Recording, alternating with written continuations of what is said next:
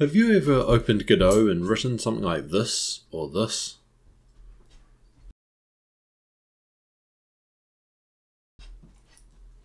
And then you go and have a terrible idea, like doing this.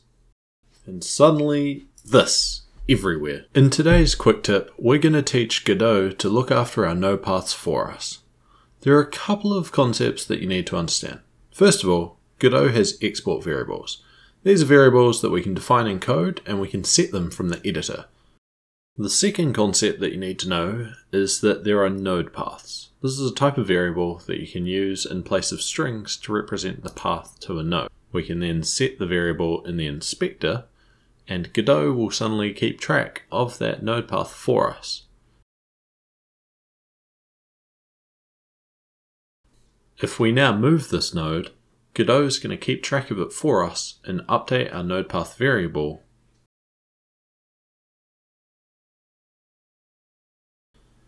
If you're using C Sharp, the concept's the same, but instead of using an export keyword, you use the export attribute.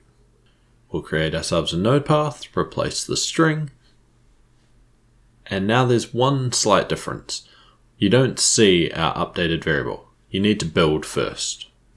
Now we can set our variable and it's the same as GDScript.